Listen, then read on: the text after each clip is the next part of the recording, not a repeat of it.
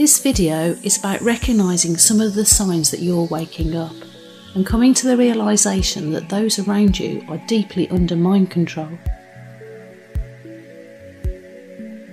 Everyone seems pre scripted. You find that people are having the same conversations no matter who they are, like they are pre recorded conversations. If you sit on a bench in your community and listen in on these conversations, you will clearly see that people are pre programmed, just like robots. Within these conversations, there's nothing of value or intelligence. They're often focused around media, work, weather, and gossip, trivial, unimportant topics. These people will be the ones who talk the most and the loudest. They will cut you dead in the middle of a sentence. They will change the subject or even walk away and distract themselves with something trivial rather than listen to you.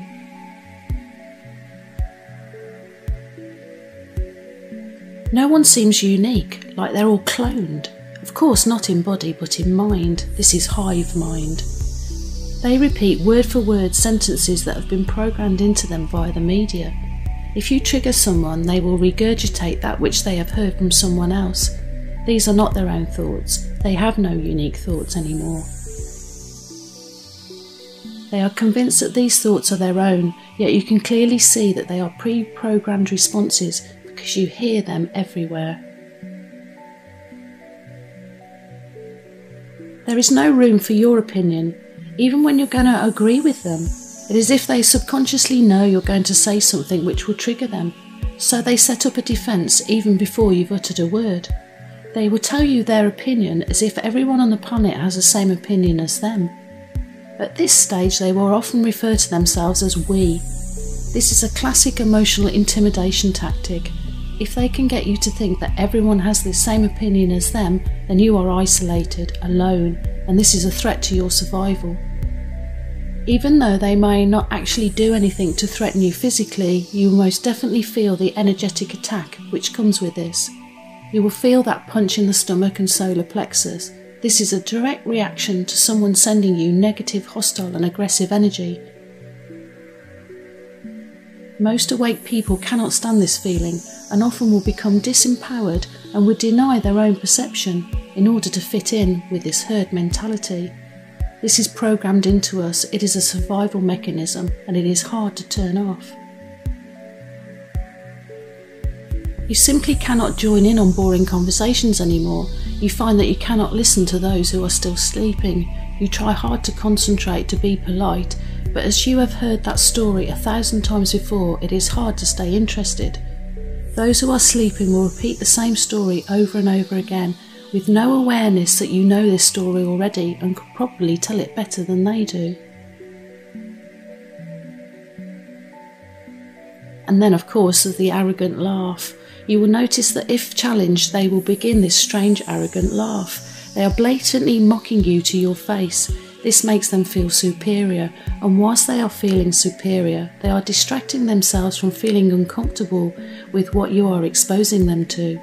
Mocking you and making jokes of serious matters is another distraction tactic. Answering a question with a question.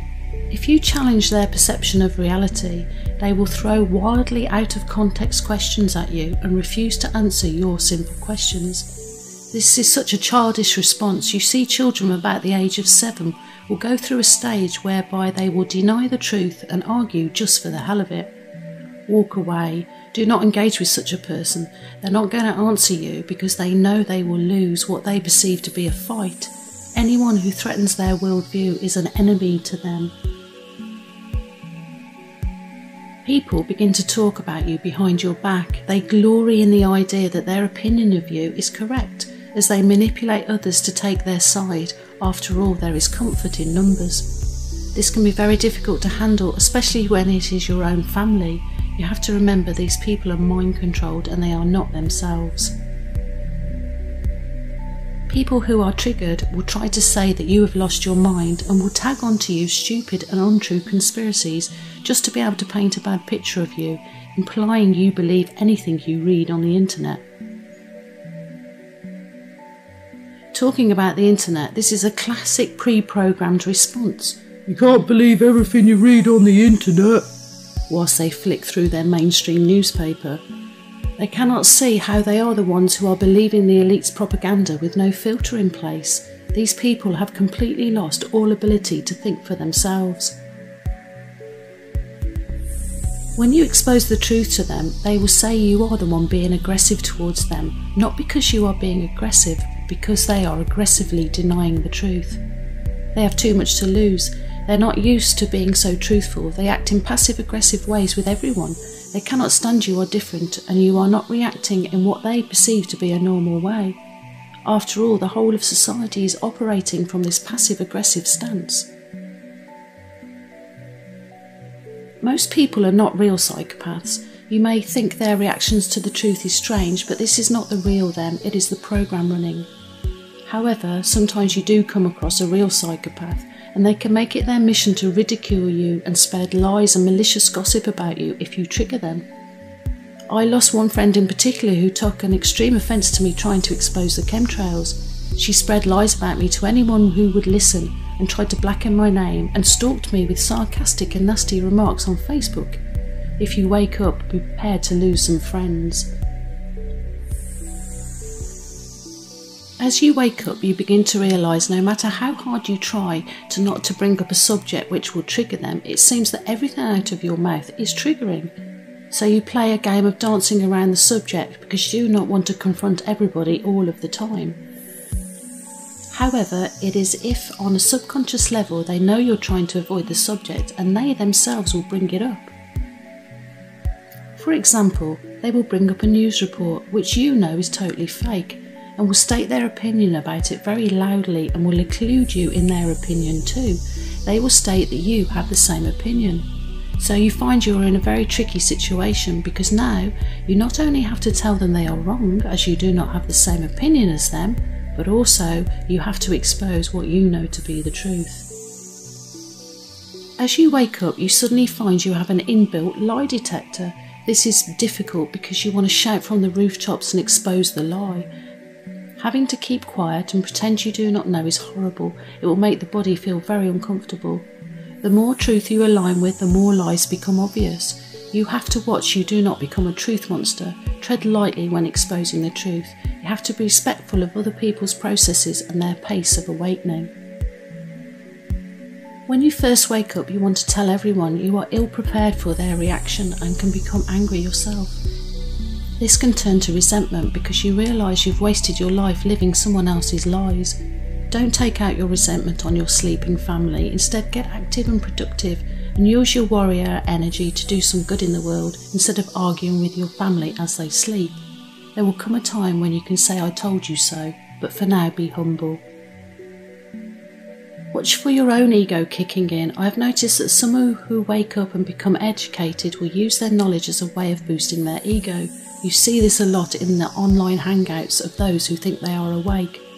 People will argue about one theory or another. This is too is a distraction, is not productive. No one has a monopoly on the truth. Waking up is an ongoing process. No one can say they are completely awake and free of mind control, not just yet. Then, of course, we have the New Age programming, which is there to catch people as they wake up. The New Age programming is a little harder to spot, so let me break it down for you. The idea that everyone is a mirror of yourself. This is especially damaging as it cultivates selfishness and narcissism. Instead of looking at someone who is suffering and helping them, those with New Age program running will instead tell themselves that this suffering person is a reflection of themselves. So instead of taking action and helping that person, they will instead only work on themselves this does nothing of value to the other person and is pure selfishness and gives the person an excuse to not take any action.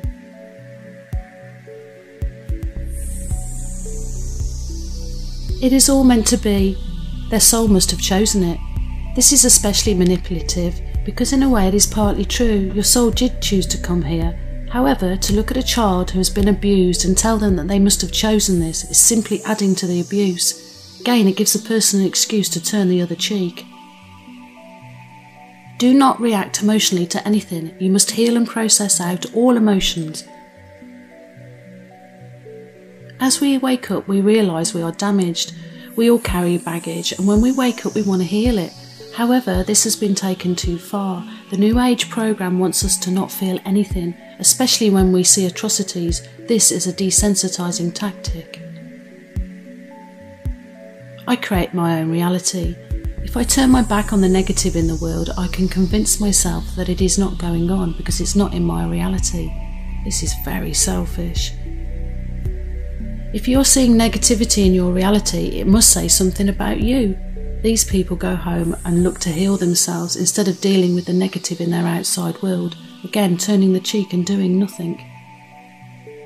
If you focus on the negative, you're adding to it. This is designed to make you do nothing, to turn away from other people's suffering. If I sit in meditation and think about healing the world, that is enough. This is designed to stop you from taking action. projection. They will project negative problems or issues onto you that they can then analyse in order to take the focus away from them and place it onto you.